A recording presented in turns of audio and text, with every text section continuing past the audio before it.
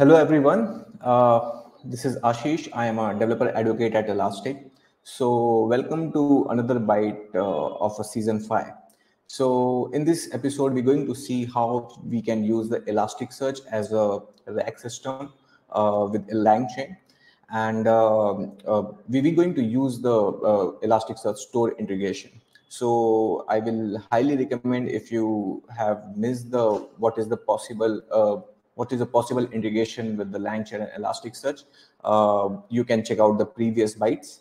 Uh, so let's get started with the RAGs. So uh, RAG is, uh, I think it's retrieval augmented generation, which is nothing but whenever whenever we uh, pass any question to the LLM, so uh, sometimes there is a possibility that uh, the LLM should not have that proper knowledge or proper data around that particular question. So it may uh, it may give you the wrong result. Uh, it, it, may uh, hallucinate you, right? So uh, so RAG is a process where we get the data as a context and we pass it with the question so that LLM can give the better answer.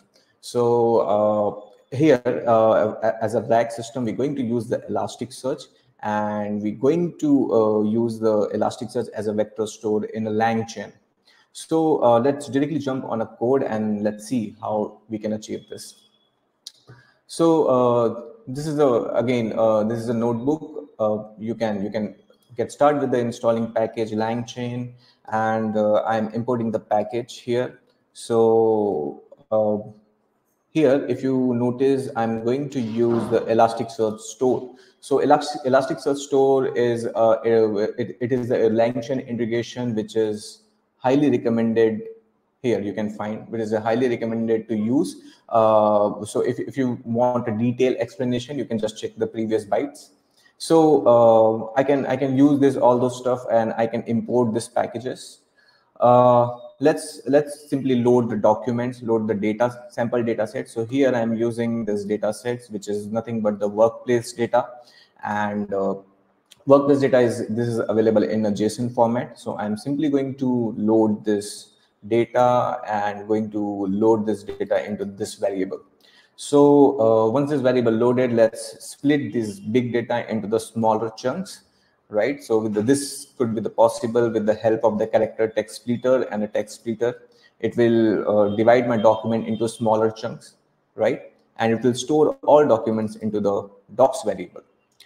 Once uh, you have you've done with the splitting, uh, let's uh, jump on how to index these data, these data, right? So I'm going to use the sparse vector retrieval strategy of Elasticsearch store, right, package so if you don't know about what is it, uh, feel free to uh, uh, check the previous bites on this. And uh, so here we are going to generate, uh, we are going to insert the data by passing through the ELSER model. So ELSER model is going to generate the sparse vector and then we, it will insert into the Elasticsearch. So let's let's index some data into Elasticsearch. I'm going to run this. Cool. So this has been run and let's check on uh, on my, this is my Elastic Cloud instance in Kibana. So I'm simply uh, going here by store, oh, sorry, the rag, this is my index name and simply I'm going to search this. So in the search, you can see my, this is my document, this is my content and uh, this is the respective sparse vectors, right? So uh, you can also check the quick mapping, how it created the index. So here, uh, Yes, so here the there's a vector and in a vector we got the tokens, the type, the rank features. So uh, this this all everything index creation and everything is taken care by this particular method. You don't need to explicitly create uh, create on an Elasticsearch site. So once index has been loaded, let's let's explore, let's do some searches. So here I'm going to simply use the similarity similarity underscore search method simply pass your uh, whatever the query you want to pass and hit it. So what is the goal for 2024? And I got uh, the relevant documents, right? Uh, so yes, this is a simple semantic search. Now uh, let's let's uh, use this as a retrieval augmented generation, right? So there is a two method uh, to use the Elasticsearch as a RAG in a LangChain. First is using retriever. So retrieval is a inbuilt in the inbuilt method which provided by the LangChain. Here we're simply going to uh, call the uh, as underscore retriever method uh, and we're going to pass this pattern k is equal to 4 so 4 it's, it's going to return the top four relevant document right and i have also created this template answer the question based only on the following context and this is context and question is a placeholder. I'm simply uh, passing my template to from underscore template and uh, then this is the which is actual the advantage of the LangChain i'm creating the chain. So this is the basic syntax where I'm explicit, explicitly uh, specify the context, context as a retriever, which is this, and the question is I'm pass I'm uh, um, calling the runnable pass-through method. So runnable pass-through basically whatever I'm going to pass in invoke function, whatever the question, it's uh, going to pass it here. So let's, and then whatever the output is coming with the prompt, it's simply going to pass to the chat OpenAI. So this is kind of the chaining stuff. Uh, output of uh, one output of one module will go, one component will go as an input to the other. And at the end, we're going to simply uh, uh, print the message. So let's let's run this. So now uh, this query will go, it will fetch the content and it will go to the chat GPT OpenAI. And this is the result. The goal of 2024 to increase the revenue, expand market, share and strengthen the customer relationship in the target markets. So yes, this is something uh, coming from my data, right? Now, there is a method too, RAG with Elasticsearch, but without retriever. So when I say the without retriever here, I have added my one function. So add context. So here, if you are, if you want to get your uh, data by using the custom query or by using the Elasticsearch library, Python library, you can uh, you can specify uh, the way you want and uh, you can simply simply bind this add context into the runnable lambda uh, method. So this will bind in in the in a runtime. So whatever the query i'm going to send it will indirectly send to this method and this this function will uh, return the uh, the context right?